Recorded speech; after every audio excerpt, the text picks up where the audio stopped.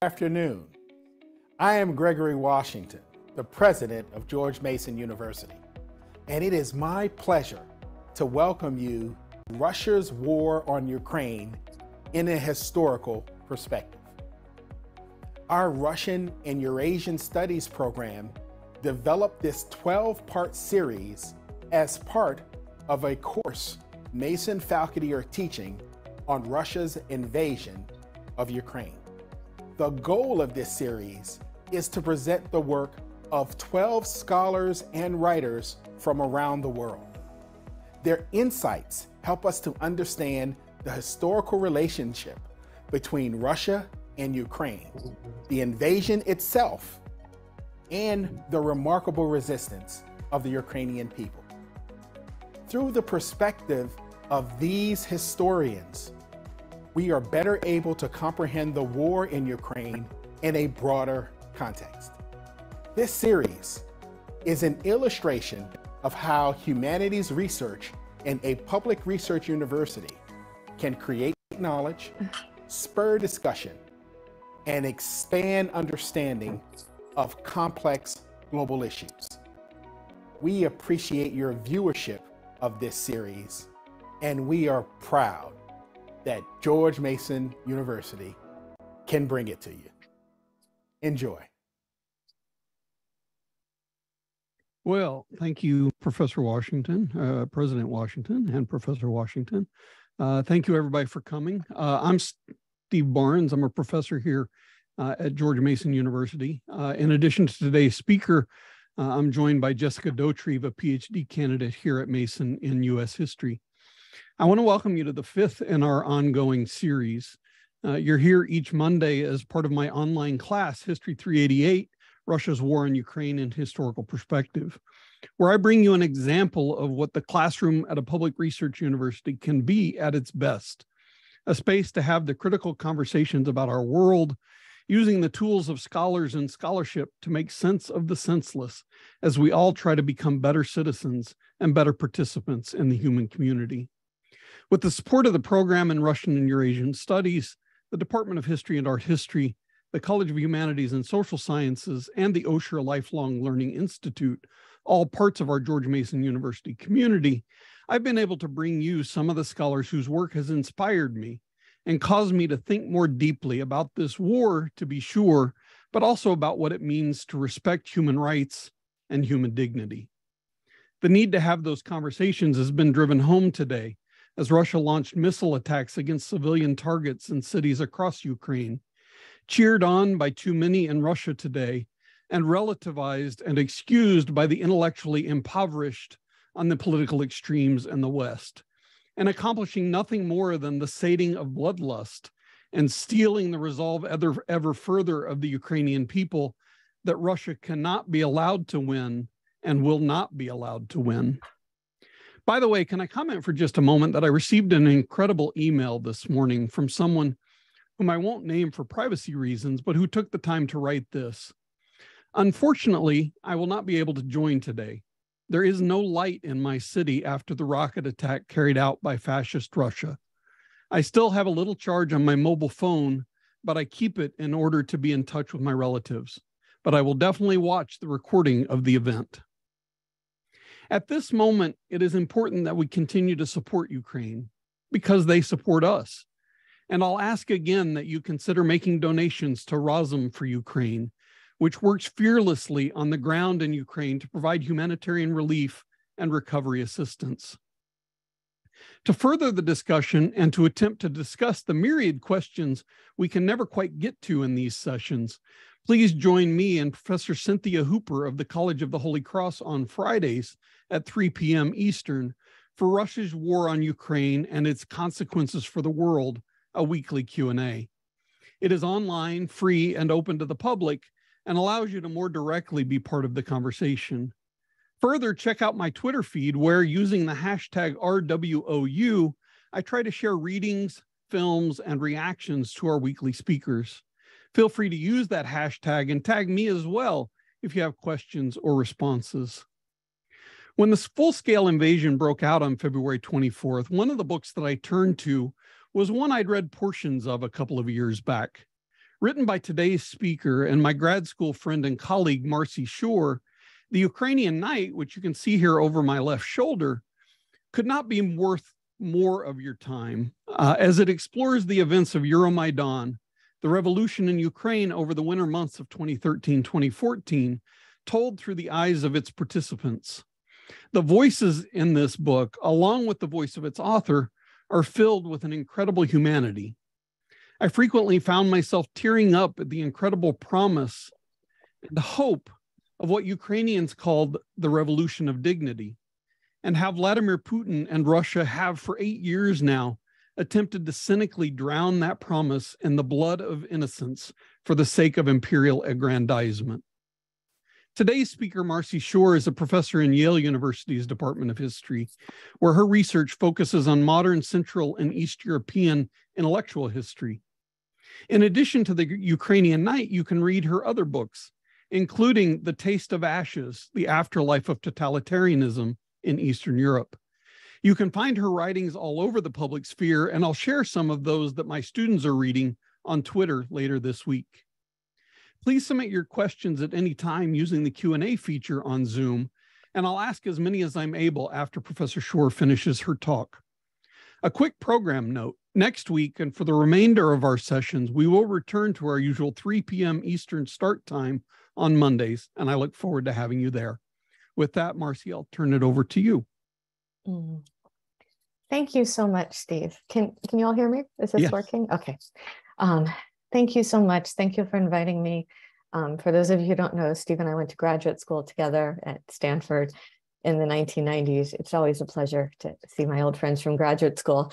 I, I somewhat wish this were under happier circumstances, um, but I'm grateful for the occasion to be here. And I think one of the things that that Steve and I share, um, and I like to think, in fact, we share with basically all of my, you know, old friends and you know ones I've made in the meantime, our Slavicist colleagues, is a sense of responsibility to play the role of the bridge at this particular moment.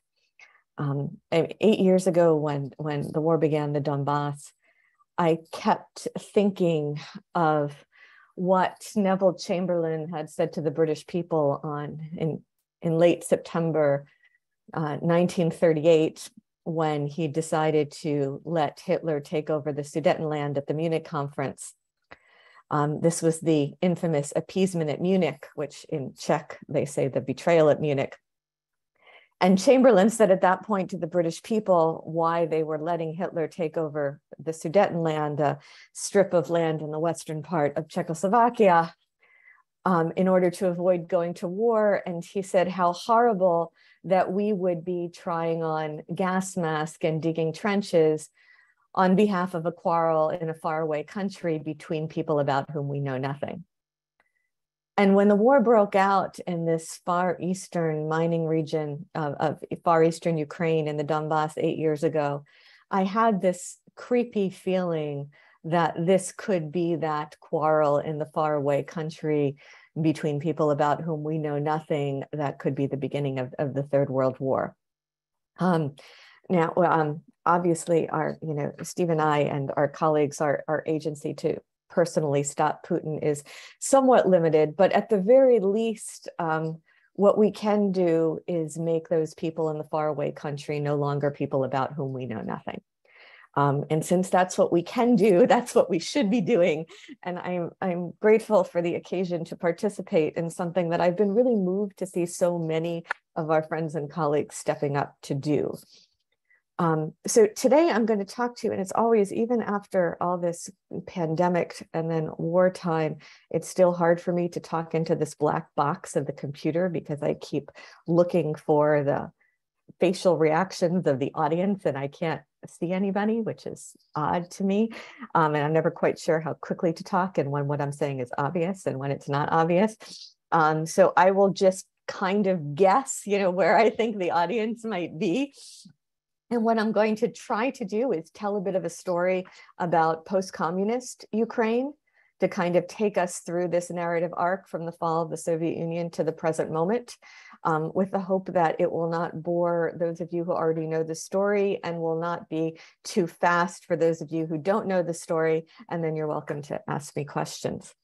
Um, so as, as a kind of brief reminder for those of you who are not mired in Soviet history, the Soviet Union, I, I would argue, was the largest scale, most far reaching social engineering experiment ever performed on, on mankind. Um, in some ways, we are still grappling with the sheer scale of the experiment and, and the sheer scale of, of the failure. It was an attempt not only to remake a government um, or not even only to remake a society, but to actually re-engineer human beings. Um, it, it lasted for some 70 years.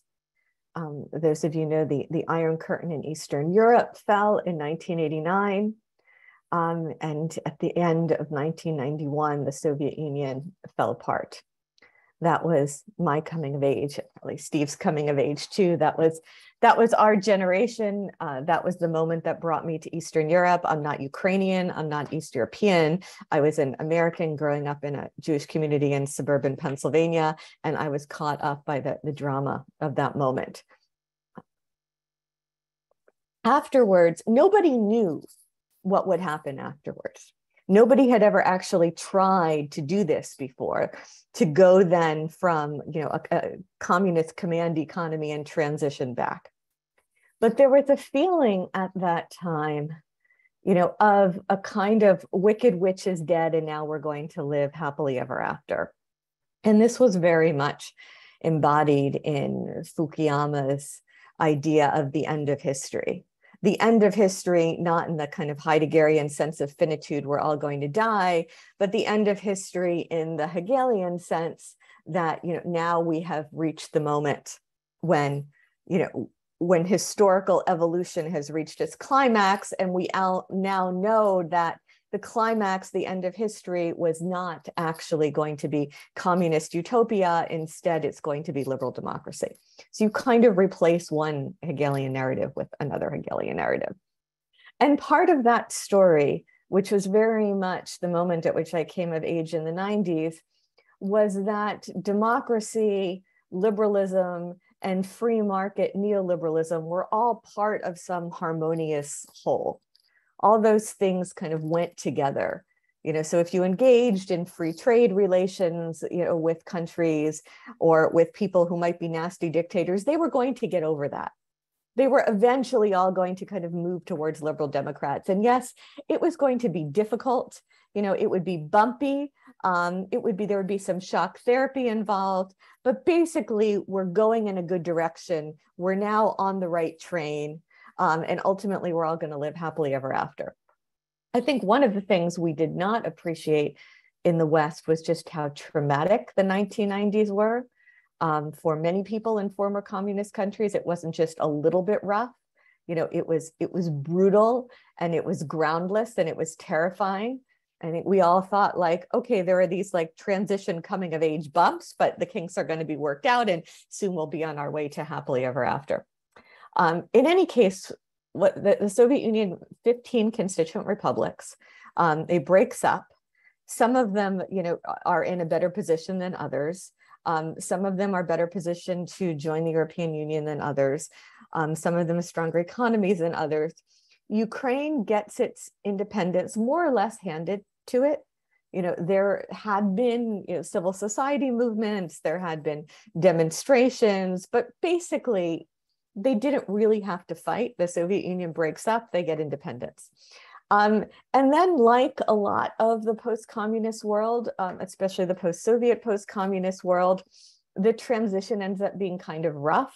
You don't actually kind of get rid of all the old apparatchiks from the Communist Party. Those people tend to kind of stick around and get transformed into robber baron capitalist um, Leonid Kravchuk, who becomes the leader of Ukraine, you know, after it's already become an independent state, comes right through the elite of the Communist Party. Um, his successor, Leonid Kuchma, enters politics in that post-communist period and is just mired in corruption scandals.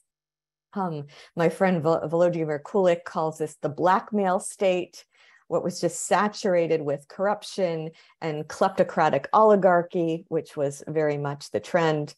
And that kind of languished, you know, more or less for, you know, a, a dozen or so more years.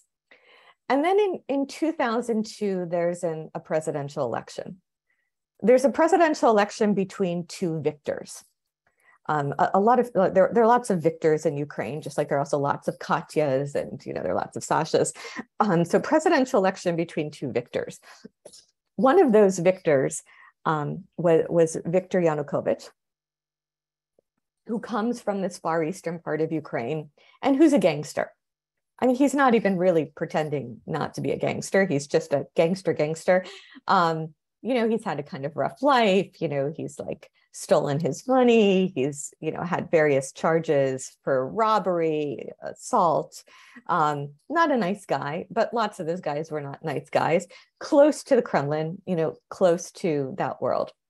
And then there's another Victor, Victor Yushchenko, who seems to be you know much more westward looking who seems to have visions of bringing ukraine into europe um, of opening it to foreign languages to english to influence of the non-soviet world to going in the direction of liberal democracy.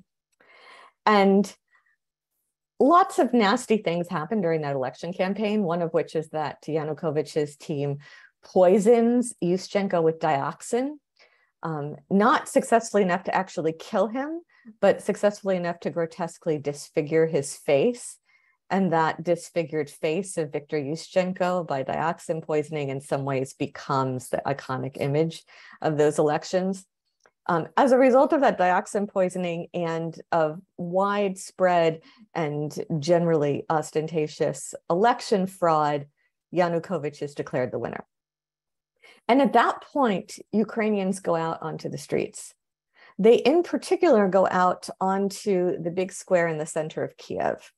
And for those of you who have never been to Kiev, let me just briefly mention that the, the central square in the center of Kiev is called the Maidan it's i mean all of these european cities have have central squares. This is a particularly large one. It's particularly large and it's a complex geographical space. It's multi-level. There's a kind of shopping mall underground. There's a subway there. It's i mean i'm not an architecture person but it, it's a complex space that offers many possibilities and just is very capacious.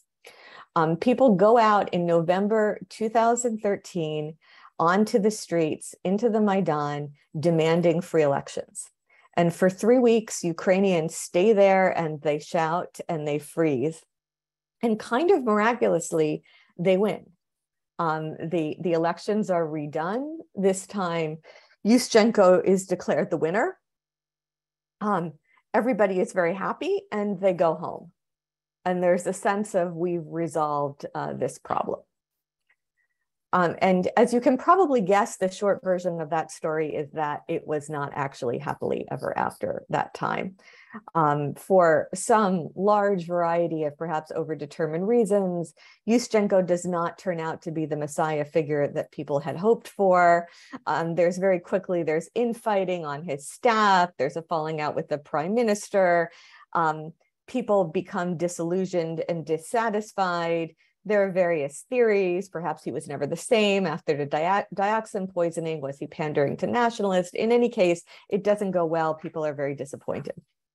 In the meantime, Yanukovych, who it just seemed impossible could be ever heard from again, he was not a particularly impressive person to be, for, begin with.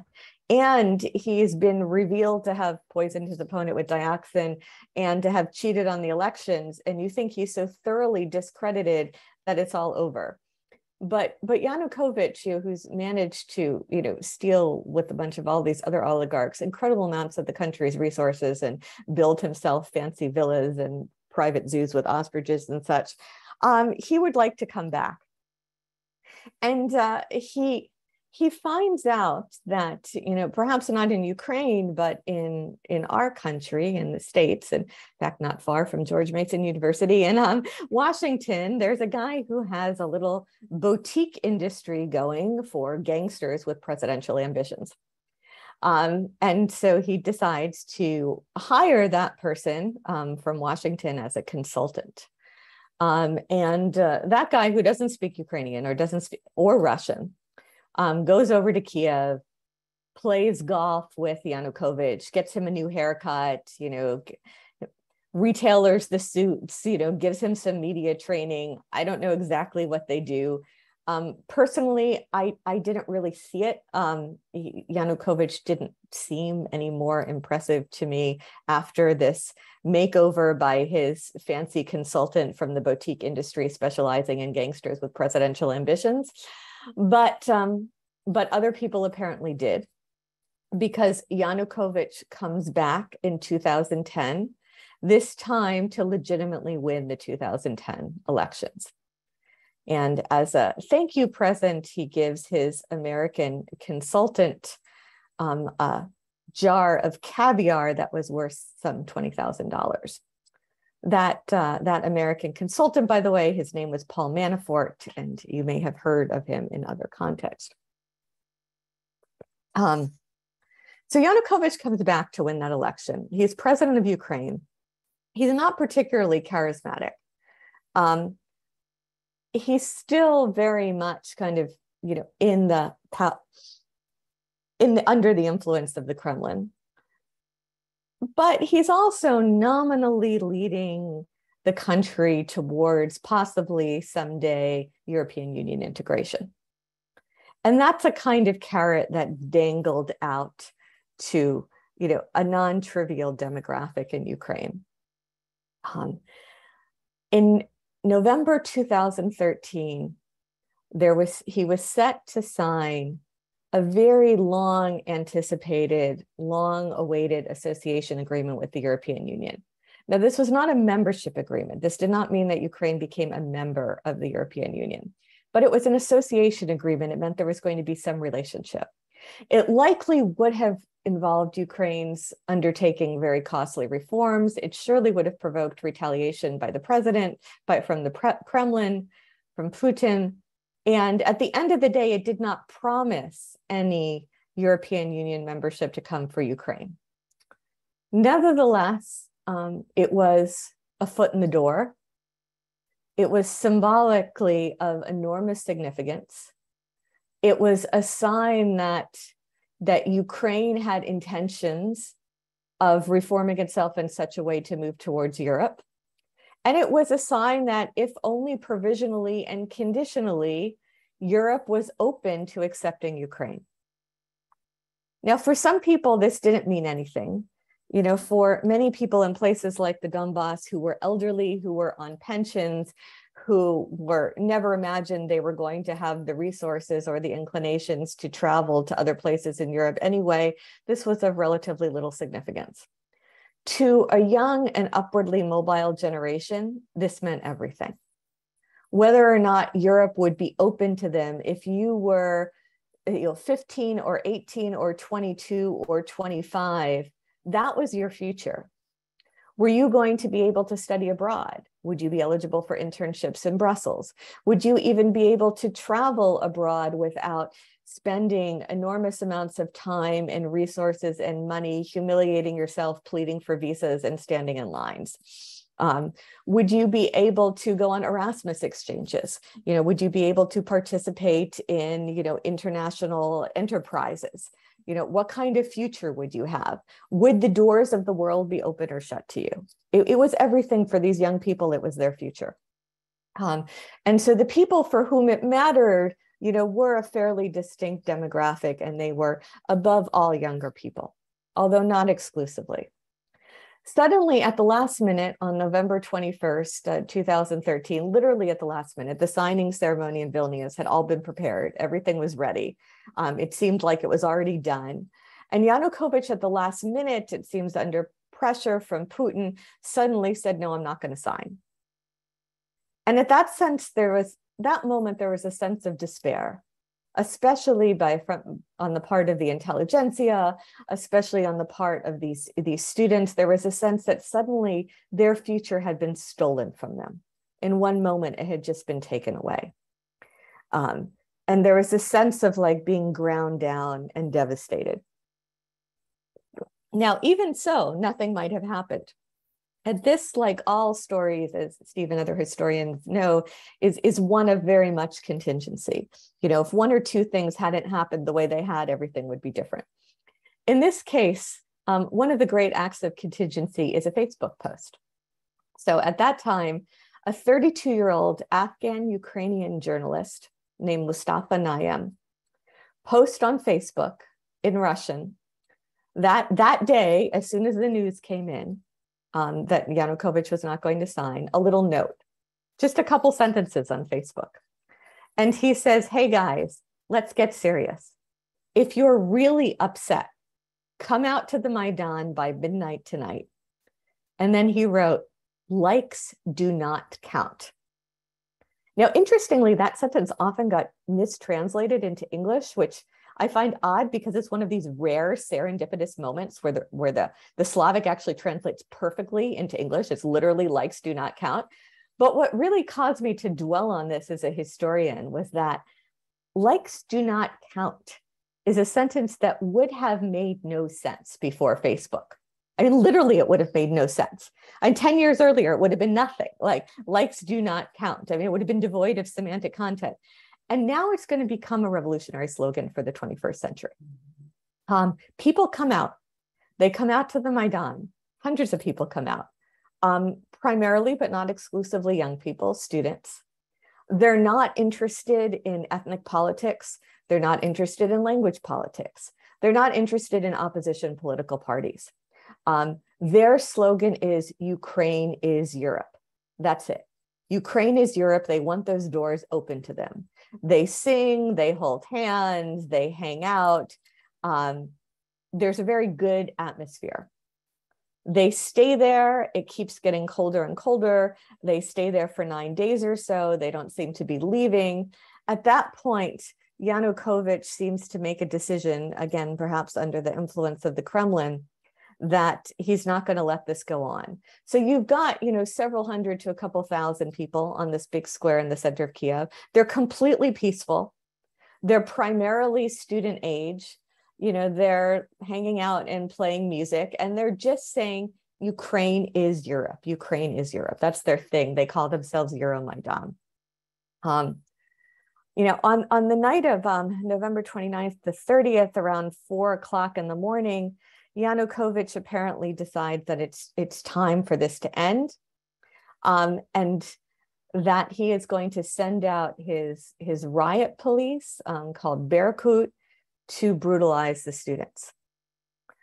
The idea seems to be that if you terrify people by beating them up enough, although preferably not actually killing them, the parents will freak out and pull their kids off the street.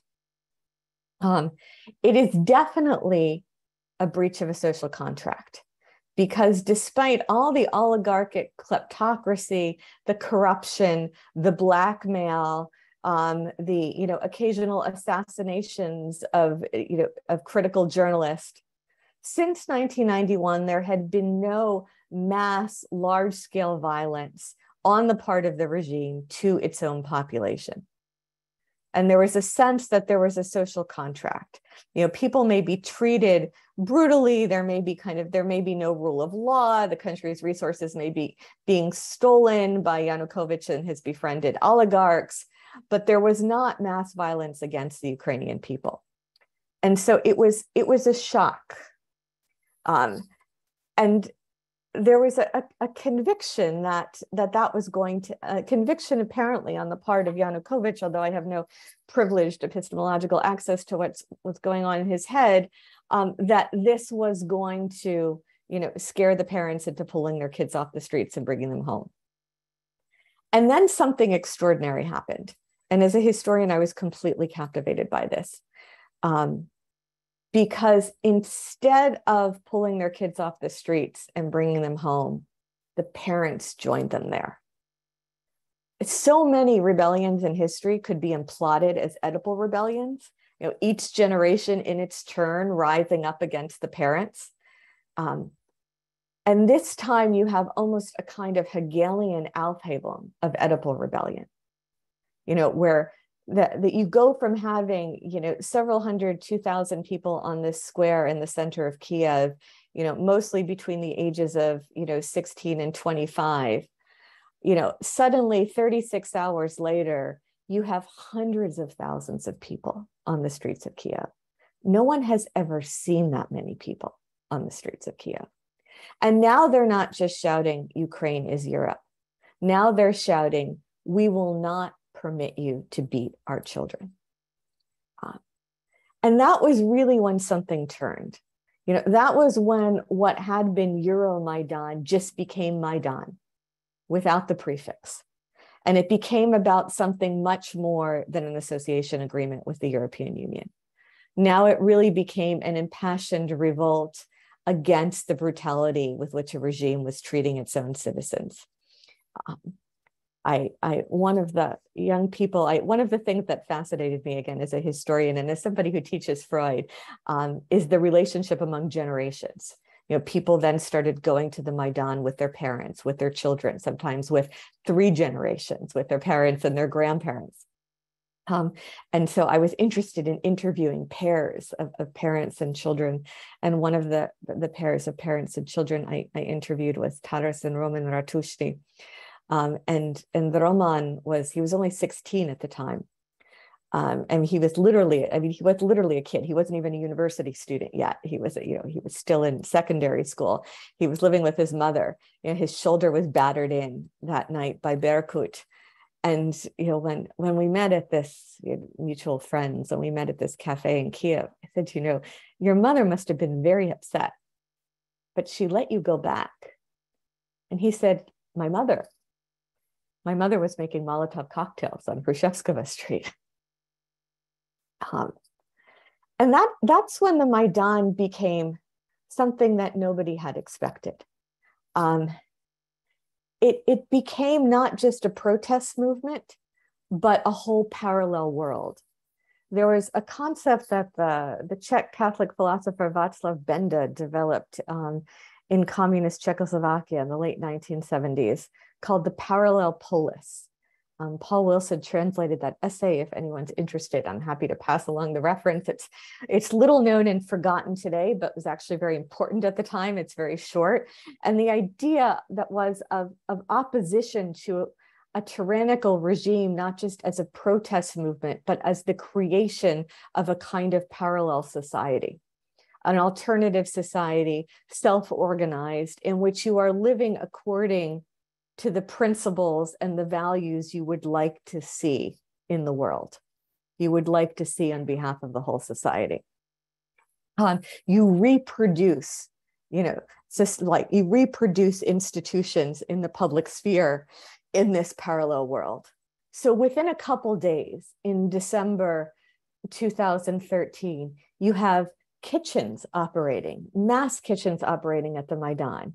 You have all these people cooking and making sandwiches and making tea and making coffee and you know cooking soup in cauldrons. You have an open university. You have a stage, you have a piano, you have public film screenings, clothing distributions, medical points set up. You have a whole parallel world. You literally, you know, people are people begin to live on the Maidan, you know, or take shifts coming to the Maidan. You know, people are on the Maidan day and night, you know, and they're not just, there's a whole world there that's going on, you know, and it's an extraordinary feat of self organization. And it's an extraordinary feat of civil society, um, which I was also kind of fascinated by because people might not have guessed that there was such an elaborate infrastructure of civil society. But one of the things you see is that these tiny little seeds of things, once planted, can suddenly explode. Um, one of the things I, at that time I was in Vienna, I, I wasn't there. I wasn't in Kiev. I was at a research institute in Vienna, in which I had several friends and colleagues who were Ukrainian, who were basically shuttling back and forth between Kiev and Vienna the whole time. You know, and so people would like get off the plane and we would all jump on them and say, What's going on? What's going on? And I remember one time, like when the, the violence on the part of the regime became more and more brutal as the winter went on. Um, people were being kidnapped Um, their bodies would be found, you know, tortured and frozen in the woods. When people were injured, they would be kidnapped from hospitals. Um, it's one of the reasons they set up medical points so people didn't have to go to the hospitals. Elaborate networks of volunteers were set up. Um, an SOS hotline appeared. So if somebody was in danger or somebody was caught by the police or by these titushki, these kind of, you know, hired gangster mercenaries. Um, there was a hotline you could immediately call, you know, and people who would come. And I remember my, my friend Katya got to Vienna and I said, How did you guys get a hotline like overnight? Um, I, I don't know how to set up a hotline. And she said, Oh, you know, there was this LGBT group that had a confidential hotline and they just kind of donated it. Like, and I, and this, as a historian, this struck me as the kind of detail that seems trivial, but is actually quite revealing you know because okay maybe a group has has a small hotline you know maybe a handful of people are calling every week and discussing personal issues and maybe like but you, you've got something in place. You, you've got you've got something nascent in place. You have some structure even if on a modest scale um, and that then becomes the basis of something exploding. Um, so it was it was master work of, of self-organization. It was also an incredible moment of overcoming of boundaries um, and, and here I'll, I'll say, and I don't want to talk too much longer because I know you guys want to ask questions. And then maybe I'll get to see some of you, which I can't at the moment. But I was in this very strange position because I was an American watching this live streamed from Vienna. Um, and one of the things that was interesting about the Maidan was the role of social media, because the regime was controlling the official media. So you went to the social media to assert your own story. Um, the Maidan live streamed itself.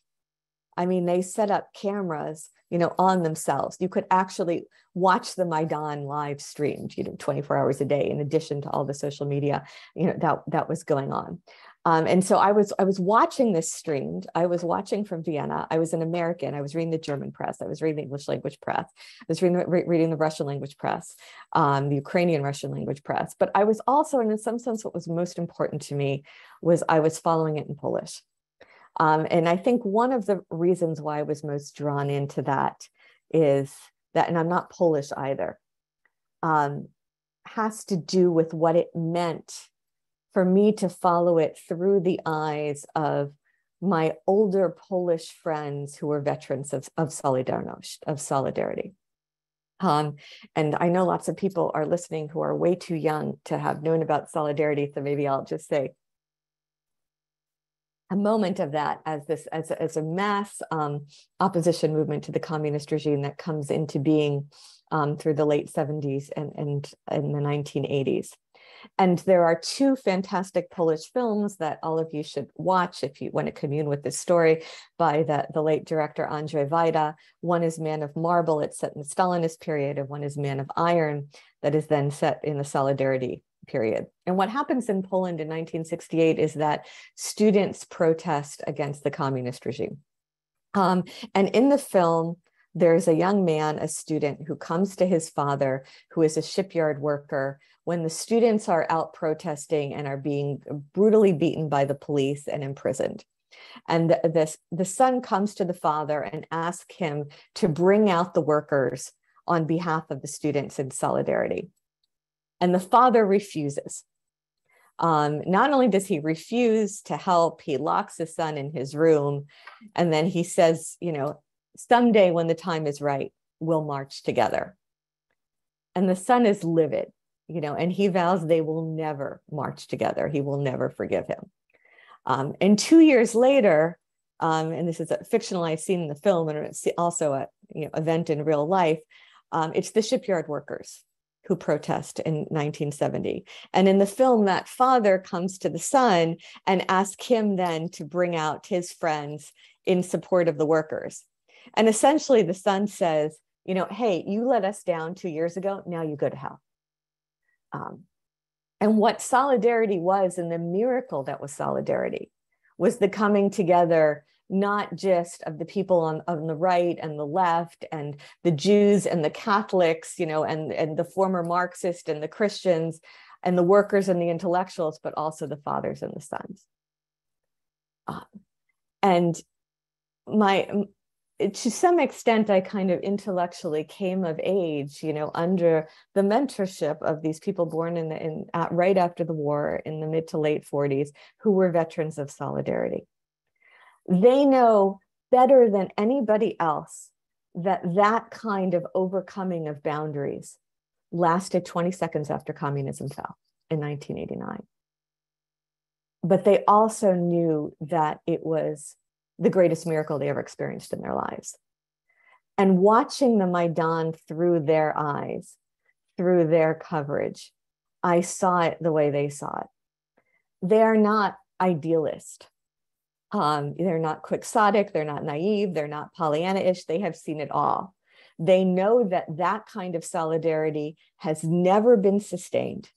They know that it, it flickers for a second in human history and then it's gone but they also know that it is the kind of precious and extraordinary gift that most people never experience in their lifetimes and they never counted on living to see a second time.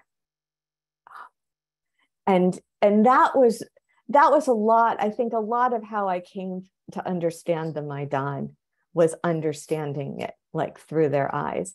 And when i when i saw some of those people in in kiev in the, the that spring you know adam michnik came alex smolar came agnieszka holland um, kostek gebert you know all of these people were coming to kiev and they were they were ecstatic. And not because they were naive but because they understood how precious this was.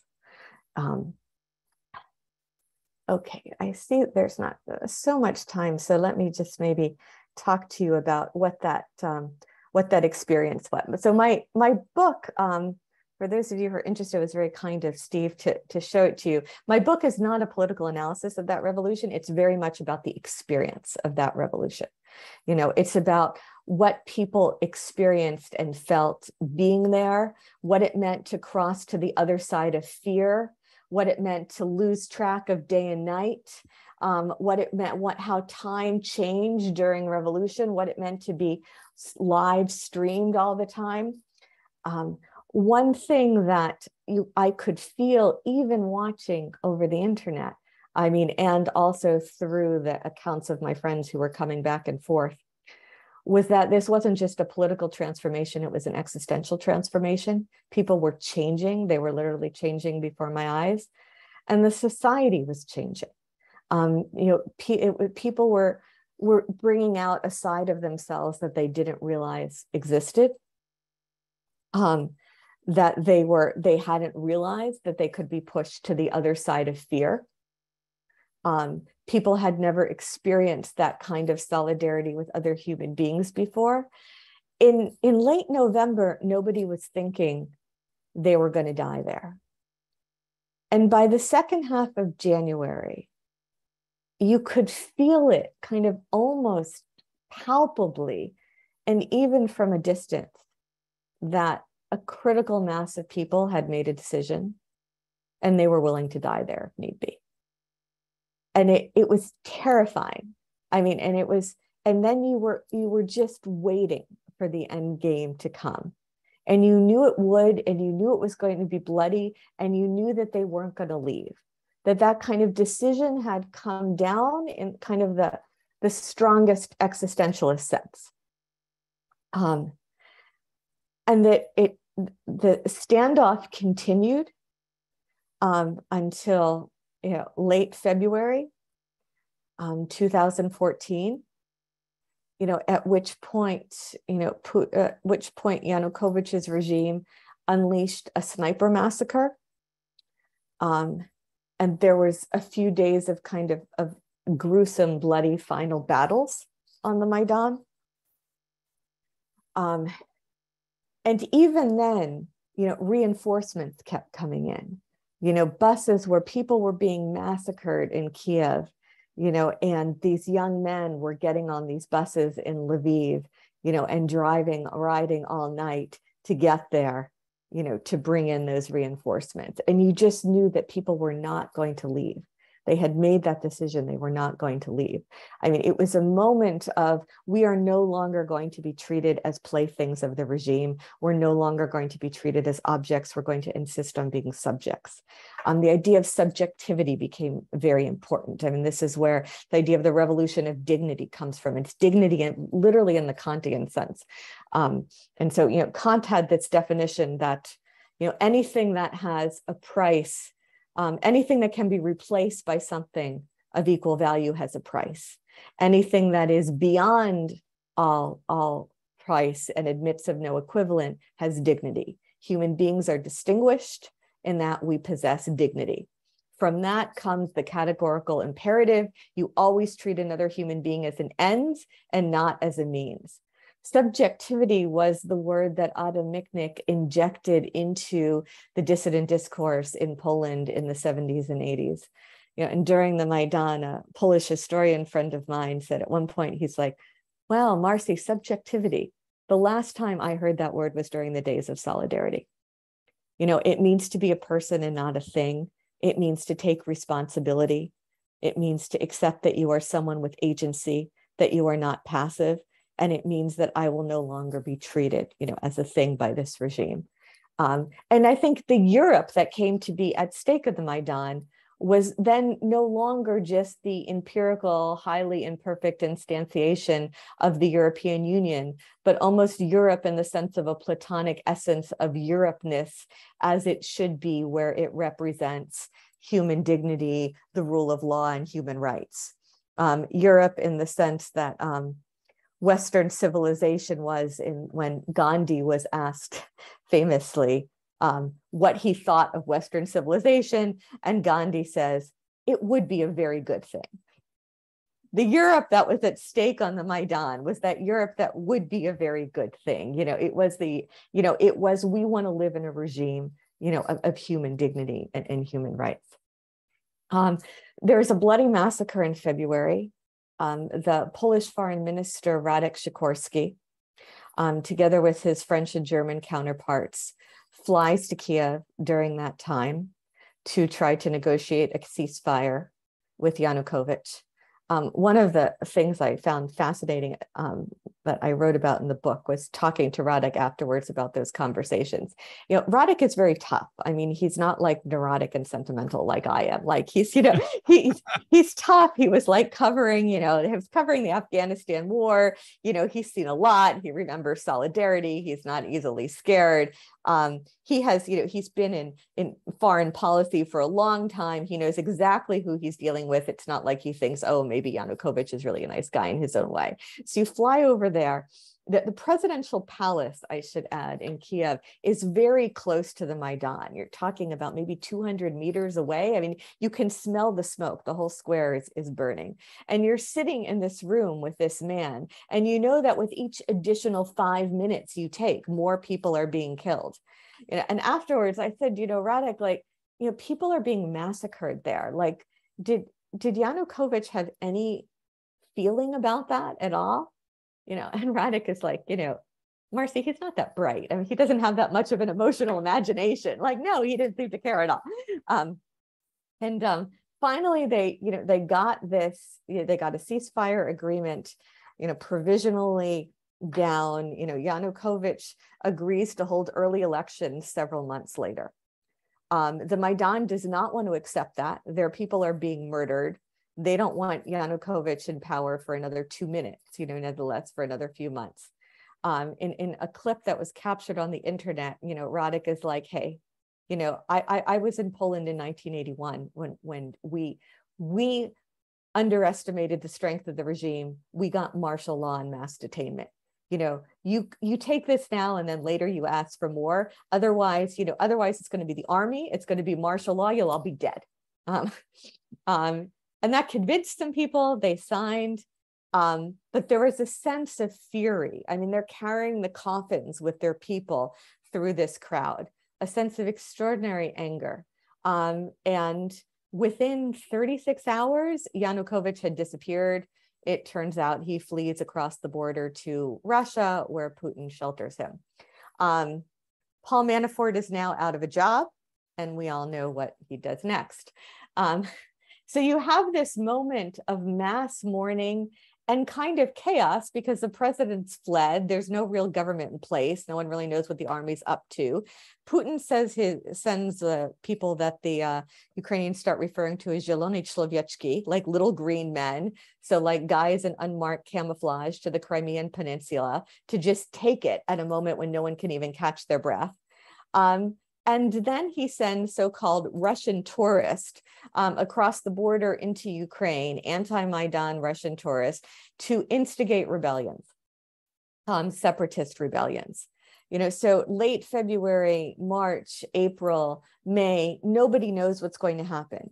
There's a feeling that a war could be ignited, that Putin is trying to ignite a war, that he's trying to get parts of Ukraine to succeed, that he has planted stories, um, or rather disseminate, his trolls have disseminated stories that the Maidan was a CIA conspiracy and Ukrainian Nazis are now heading eastwards to massacre all the native Russian speakers. Um, this was produced at the same troll factory in St. Petersburg that gave us the story that Hillary Clinton was kidnapping children and holding them captive in the basement of a pizza place in Washington. Um, they seem to like coming up with stories, throwing spaghetti against the wall, and, and from time to time something sticks. Um, for those of you who have never been to Ukraine or who are like non-Slavicist, so Ukraine is really a bilingual country. Um, in general, as you go west, you know ukrainian is a stronger language and as you go east russian is a stronger language. But that kind of obscures the point that everybody can function in both languages. And there was never any chance that any ukrainian nazis who didn't exist were coming east to kill any of the native russian speakers. Um, what maybe i'll just tell one very brief anecdote about that. What happens is that the there's violence in various cities but the, the separatist rebellion instigated by the Kremlin only really takes off, you know, in certain places in the Donbass, this far eastern post-industrial mining region, um, at which you then have some motley crew of local gangsters, Kremlin mercenaries, Russian soldiers who start taking over buildings and declaring themselves breakaway republics. Um, and I'll just maybe the last thing I'll tell you is my my uh, another Katya um, who was in Donetsk at the time and was running a kind of art forum, art space there with several friends and colleagues that then got turned into what is now an infamous dungeon and torture chamber there that uh, Stas Aseyev has written about. Um, and when I, I talked to her after she had already fled to Kiev, and she was trying to describe these different groups of people and what it was like being in Donetsk at the beginning of these separatist rebellions. And she said, Marci, and then one day these Chechens came and their Russian wasn't even very good. And then they couldn't understand why they were getting these this Ukrainian currency and not Russian currency from the bank machines. And then they called this meeting on Lenin Square. And this elderly, you know, Christian grandmother comes out and gives an Orthodox christening to the leading Chechen soldier so that he'll be victorious in battle against the Ukrainian Nazis. And we're, we're sitting at this like little tea house in Kiev, and she's trying to like relate all this like very calmly, you know. But she's like, Marci, everything is surreal in this story. You have the Christian Orthodox women on a communist square giving an Orthodox christening to a Muslim soldier so that he can go kill non existent Ukrainian Nazis. So everything in this story is fiction and it's all really happening to us. Um, so that, that's just to kind of give you a, a sense um, about this grotesque war in the Donbass, that little known place, those people about whom we know nothing, that has been lingering and simmering for the past eight years. Some 13, 14,000 people have been killed. There were between a million and a half and two million refugees who had to flee and leave their homes, becoming internally displaced persons, that is, refugees in their own country. Um, and that was the state of affairs um, until February, um, this past February, uh, the 24th, when Putin launched uh, a full scale invasion. Um, so maybe I'll stop there and let you ask questions. Marci, thanks so much. Um, let me just say to everybody read the ukrainian night mm-hmm. um, this I, I, think the feeling that i got listening to you marci reminds me of the feeling that i got in reading the book mm-hmm. um, and hearing the voices of these people that you talk about that come through so strongly in that book. Um, so we have a lot of questions that have come in already, um, questions that my students submit um, before we even start, um, because uh, we we watched Winter on Fire. We've talked about oh. um, uh, the the Maidan uh, a lot, and and it always raises so many uh, questions. And I want to start on on this subject of generations. Um, you talked about this, I think, in in very interesting ways about there being a generational difference between those for whom an association agreement with Europe meant something and those perhaps for whom it meant less. Um, but also this moment in which generations came together uh, in protest. So uh, one of my students, Natalia Tawid, asks uh, if there are significant differences in attitudes towards Ukrainian identity between older and younger Ukrainians, uh, and and here in particular, sort of what have been the ongoing impacts of this moment. Mm-hmm. What will the new Ukrainian identity look like um, after this war? Uh, sort of sort of these kinds of questions of of generation and and sort of how you see that out of the experience of of the Maidan. Okay, that's that's a great question. Um, yeah, let me first say about parents and children. Um, so so Roman Ratushny, that the 16 year old I, I, write about in the book, um, he was killed fighting in in June.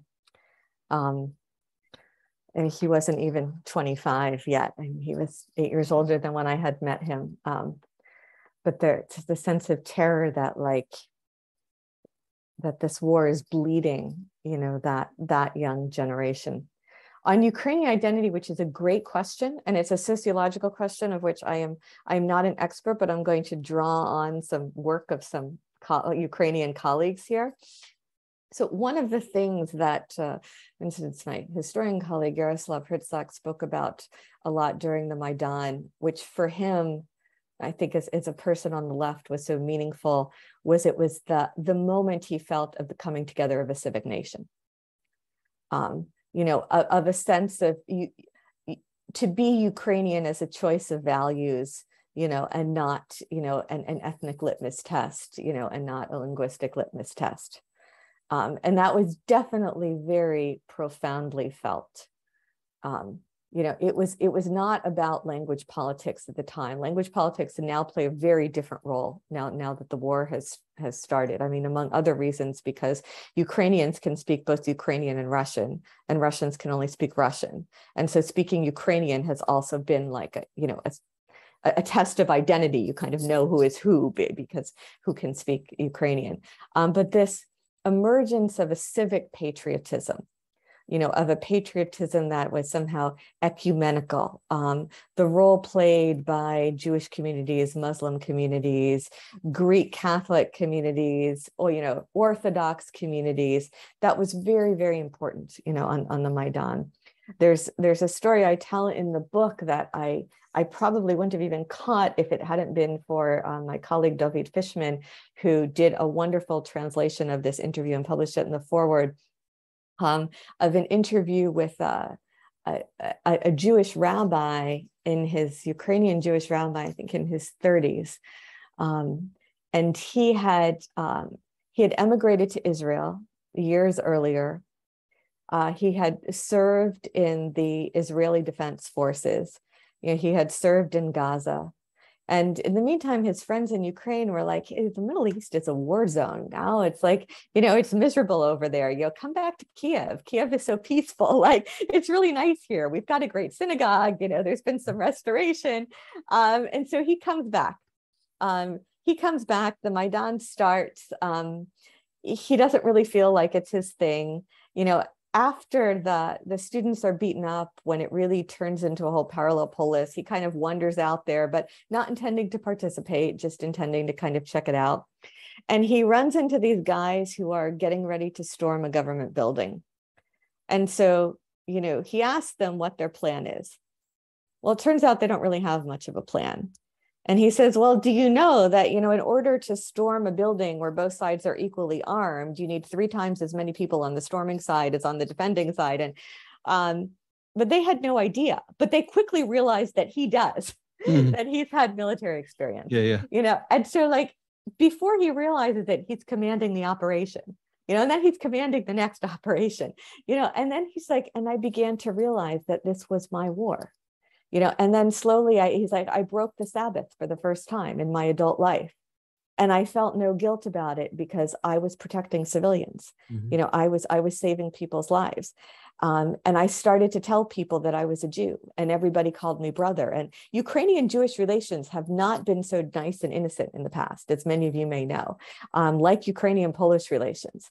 And this was really a moment of a kind of new chapter, and to some extent, like a new generation. You know, and and for Yaroslav Hrytsak, what was this? It was more than just Ukrainians and Jews and the Greek Orthodox, the Catholics, or like like it, I mean, it was about an emergence of a civic identity that people were making a choice about the kind of society they wanted to live in. Um, Volodymyr Kulyk has done much more systematic sociological kind of political science research on this for the past eight years. I mean, he's the kind of social scientist who actually does large scale, you know, massive survey research. Um, and and he has he has work. I'm sure Steve can send you some links to that, where he looks at how Ukrainian identity has actually changed a lot towards a notion of a civic identity. Um, and that's been very important, you know, in this war. That you know, to be Ukrainian is a choice you know, and it's to a large extent of political choice, you know, and, and Yaroslav Hrytsak would say that, you know, the real difference is not, it's not ethnic and it's not linguistic, it's about political culture. And it's also about seeing oneself, you know, as a subject and not as an object. I mean, these, you know, in these places where the fighting is, is most brutal um, now in Eastern Ukraine, they're almost entirely populated by, by Russian speakers, often by ethnic Russians, whatever that means as well. You know, that um, that that's not that's not what it means to be Ukrainian. To be Ukrainian is to choose to be Ukrainian, you know, and to say, I don't I like I, I don't want to live under Putin's neo-fascist, you know, neo-totalitarian regime. Um, and I think that's been a huge coming of age. I think, I mean, I'm not the person who's done the sociological research, so mm. you shouldn't take my word for it, but I think Ukraine has has changed, you know, and evolved tremendously in the past 30 years and dramatically in the past 10 years. Let me um, follow that up a little bit. So, uh, so um, and I can kind of bring together um, a few different questions here from Mary Thomas, from Shmuel Metz, uh, from Samantha Messina. Um, and that's to ask you sort of going into um, the Maidan. Um, it's to bring together a couple of different questions here. One was generation more important in outlook than regional location? Because often it's really made out as if you know the Maidan and the revolution of the Maidan, right, is something that comes from the western parts of Ukraine, that mm-hmm. comes from right. I mean, this is the way it's portrayed sometimes. It, this is this is the Ukrainian speakers and Ukrainian nationalism mm-hmm. and these kinds of things, um, and that resistance to this comes from Eastern Ukraine. Uh, and so, uh, you know, Mary Thomas asks uh, in talking about what's going on in Kiev at the time uh, in 2013, 2014, what's going on in the rest of Ukraine? Um, so can you just talk a little bit about sort of regional differences and their relationship to to generational differences uh, as we're heading into this moment? And obviously, you describe this as very much a crystallizing moment itself for what comes after. Um, but I'm wondering, sort of, uh, sort of how you see this uh, as we head into uh, November uh, of 2013. Yeah, that's a good call. I'll try to answer more briefly this time. So my sense is that in Western Ukraine, everyone was on the side of the Maidan. Like my friend Yurko Prokhasko was like, you know, to come out to like the, so there was the Maidan in Kiev, and then there were like the little Maidans, like the city squares where people were protesting, you know, in kind of in parallel in all these other places. And he's like, to come out to the Maidan in Lviv, you weren't risking anything. Everyone in Lviv was on the side of the Maidan you know there wasn't you know whereas if you were where Serhiy Zhadan was or you know where Volod- you know Volodymyr Sklokin was at the time if you were in Kharkiv it was very very mixed. Um, and so you were taking a much larger risk by going out then. Um, my sense when I was talking to people who were coming from you know not only the Donbass but eastern Ukraine more generally in the spring of 2014 and then into 2015 when it really was very split I mean, most people were saying, like in the Donbass, you've got like a third of the people on the side of Ukraine, a third of the people sympathetic to the separatists, a third of the people indifferent. They just want the shooting to stop. They just want to be left alone. Is that the lines were running much more generationally than anything else? Um, that was what like that was what i was hearing mm-hmm. anecdotally mm-hmm. that it's real that was really it was not ethnic it was really generational now i think my sense now it's really changed um, I mean, I think that I mean that the I, the terribly ironic and gruesome paradox is that there had been tremendous affinity for Russia, you know, and many families on both sides of the border, um, many families split on both sides of the border, many people feeling very close to things in Russia, to culture in Russia, to, you know, lives that have been lived on both sides of the border, you know, and and it's been killed. I mean, it's literally been terrorized out of people, you know, because, you know, Russia has showed up and conducted a reign of terror. I mean, you've you've turned these people like you want for your own against you in the most gruesome, perverse way possible. So, uh, a couple of different questions asking about sort of one your your your talk about solidarity, uh, and and the the people who mentored you in a lot of ways. I think you described it, um, who come out of that generation, um, and so so so two different things here. One, Zachary Sane asks, you know is there is there a similar moment that ukrainians look back to before maidan? Do they look to the end of the soviet union mm. as a moment in a in a in a similar kind of way? Does an older generation see that and think about that in any kind of way? And then to follow on to that um, amanda brown says uh, you know solidarity was initially united in opposition to a government uh, and its policies but as you noted it quickly fell into disarray once its initial demands were met and a new government was founded. Uh, Ukrainian society is united now behind an uh, existing government and its policies to defend its sovereignty and national identity. How do you assess that difference will bode for continued unity of purpose once Russia is defeated?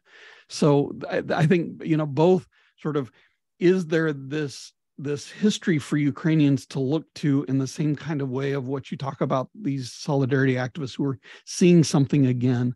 But then also, as you describe this as a, a, a sort of moment in time, this coming together, you know, what do you see sort of going forward from your from your look at other revolutionary moments? This this if this makes sense, the question. Uh, uh, this is a good question. What was most interesting to me was how self-critical after 2014 people were about 2004 mm-hmm. a sense that it was an immature revolution that they thought okay you're going to get rid of the bad guy and you're going to put the good guy in power and then once you have the good tsar instead of the bad tsar then everyone's going everything's going to be okay. Like okay we got we got our guy in and he was going to take care of everything and so everyone was happy and then we went home. And that it was it was immature in the sense that we didn't fully take responsibility you know and that there was a sense of like no it has to be us you know the society has to be engaged in the public sphere. It has to be engaged in civic education. You can't there's no there's no messiah. I mean slava vakarchuk the ukrainian rock star who's very civically engaged um, kept repeating this like there's no messiah. No one is going to lead us into the promised land. It's just us you know it's us it's every day you know it's all of us taking responsibility you know all the time. We are the ones who are building our society. There's no like great leader you know for whom like we can all follow. You know and i think that's been a real coming of age moment you know this taking of responsibility. And i i mean it's extraordinary when like i mean 8 years ago ukraine didn't really have a functioning army. I mean that mm. war starts in the donbass and like the army is being crowdsourced on the internet. And when i was in dnipro which was then dnipropetrovsk in 2015 prisoner exchanges were being negotiated by civil society activists. I mean, everything was it was all volunteer efforts and the amazing thing is that like now Russia invades on this scale that was like unimaginable for all of us. And it turns out that the Ukrainian army is incredibly competent. You know, and it turns out like in the past eight years, you know, there's been extraordinary amounts of preparation. I mean, I'm, in some ways, I'm biased because, like, some of these people who are now like both fighting in the East and working on military strategy are like students I had worked with or taught Kant and Kolakowski to, and like, so I like, I feel like, oh, I know they're brilliant. Like, of course, um, you know, I I wish they could be like at the university, like you know, teaching their own classes now that they you're finishing their dissertations. Um, but there's a sense of one of the things that happened in the Maidan that I think was significant, and somebody, one of the young activists a few years ago when I saw them at Stanford actually, you know, said that somebody should write this story about us.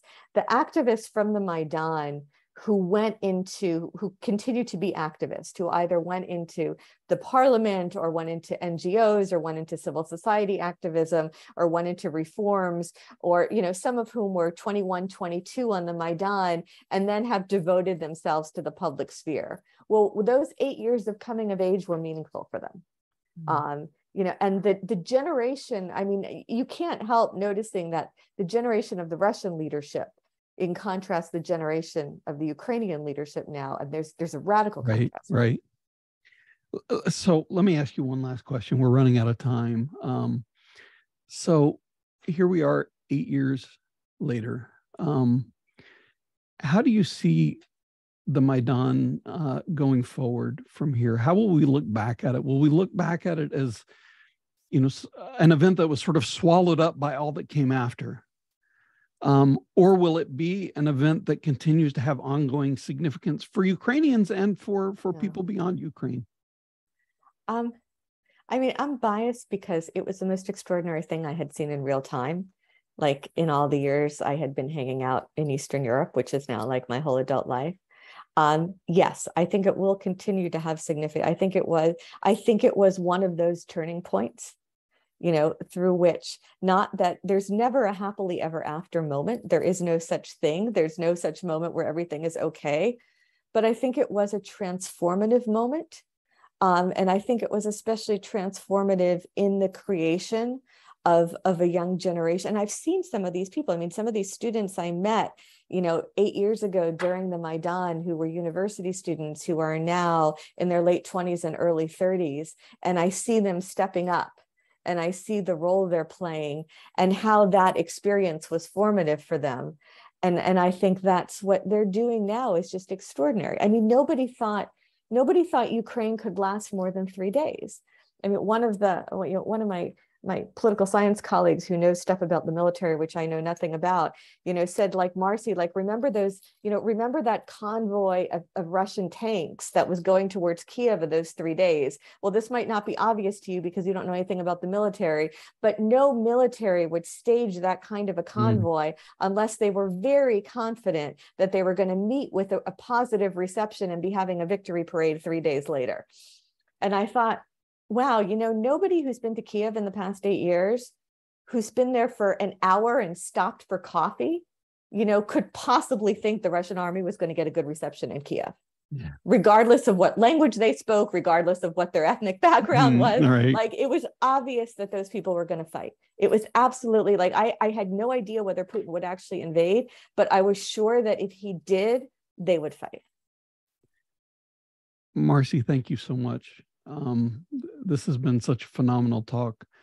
Uh, I think you really put in words what I've been trying to do this semester far better than what I uh, have been able to, which is to say, uh, you know, in in my class that that these these uh, are all part of. Um, I've tried to share lots of Ukrainian culture and Ukrainian history. My students are watching Ukrainian films and reading Ukrainian novels, and um, and this notion that you had at the beginning that that we we we make this a place that people know and that they understand and therefore that they care about and understand why we can't lose this uh, i think comes through so clearly in your writing uh, so clearly in in your discussion today. Um, so uh, uh thank you so very much uh, for everybody uh, next week. Um, we'll have somebody who can actually speak to these military questions. My colleague here at george mason university christopher hamner uh, who is a professor of military history, uh, will come. He'll be able to answer all kinds of questions that I'm sure so many of you have had that I have also said I, I know nothing about these kinds of things. Um, so please, by the way, feel free over the course of the week to to tag me to um, hashtag RWOU on Twitter if you have specific questions in advance that you'd like me to ask Dr. Hamner uh, when he comes next week. So we'll be back at three o'clock uh, next Monday. Um, in addition, please uh, come and join us on Friday, Cynthia Hooper from Holy Cross and myself at 3 p.m. Uh, we'll just spend an hour taking your questions, talking, having a great discussion. We've really enjoyed the first two times uh, that we've done this. We've really been able to uh, in, engage with um, the visitors in a way that's that's harder when you have 300 people coming uh, or more every time that that we've been gathering. But I'm so grateful that so many of you are here. Uh, I really think it's a meaningful statement that you've come to be part of this. Uh, and I'll see everybody back in a week. Thanks. Mm.